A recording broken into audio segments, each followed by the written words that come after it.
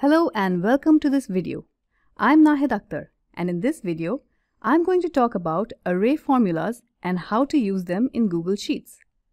Now before we talk about array formulas, we need to first understand what arrays are. Well, the concept of arrays actually comes from the mathematical concept of matrices. You can think of an array as a set of values that are organized into rows and columns. For example, this is an array of 4 rows and 3 columns. Now, you must be thinking, well, this is just a range of cells. And you're right. In Google Sheets, an array is just like a group of cells in a worksheet. So, you now know what an array is. Then what is an array formula? An array formula is a function that is applied to elements of an array. The difference between an array and a regular formula is that a regular formula returns a single cell value, while an array formula returns an array or a range of cells as its output. This will get clearer as we see some examples. Let's say you have a data set like this with unit cost and quantity sold for each item. To find the total sales amount for each item, what would you usually do? You would multiply the unit cost with the quantity sold for the first item by using the formula equal to B2 times C2 right and then use the autofill or the fill handle to paste the formula down to the other cells of the column. So for five items you now have five different formulas right? If you had 500 items you would have 500 formulas. Now let me show you a cool hack. Instead of having so many formulas, you could just use one formula to display the result in all the cells of this column. And you can do that by using an array formula. First, replace the individual cell references with references to the range of cells. So, so we could use the reference B2 to B6 instead of just B2 and similarly C2 to C6 instead of just C2 okay? We're not done yet. Let me just remove all this okay? We now come to the part where we apply the array formula.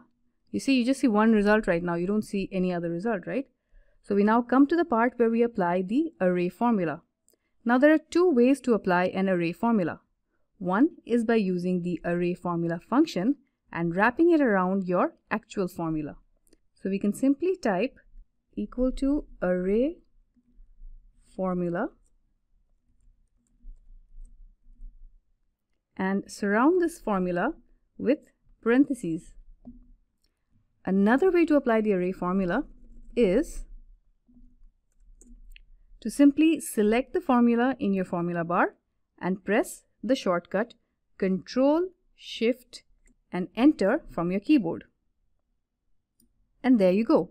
When you press the return key, you get a whole array of results and if you click on any other cell of this column, you'll see there's just one formula. The formula in the first cell. All other results are part of the result of this array formula. Fun thing is, this formula is dynamic.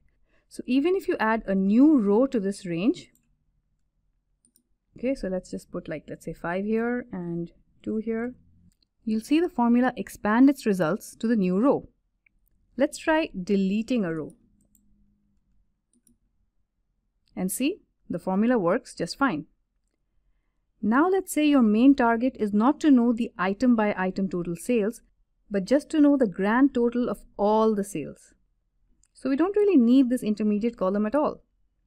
We could skip this step and directly get the grand total of all the sales using the array formula function.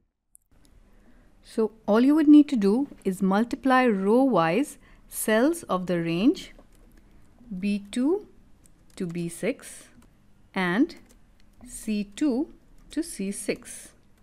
Wrap an array formula around it and this would return a range of cells with each product.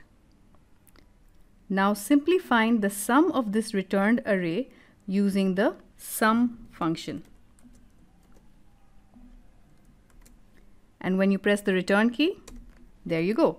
You got your grand total without having to display the set of intermediate product results. So I hope with these two examples, I've been able to make the concept of array formulas clear for you. There are a number of other ways that you can apply this function to get quick and smart results. You can read more about it in our article that we have linked in the description below. If you liked the video, hit the like button. If you would like to see more videos like these, press subscribe to get notified when we post a new video. That's it for now. Thank you and have a nice day.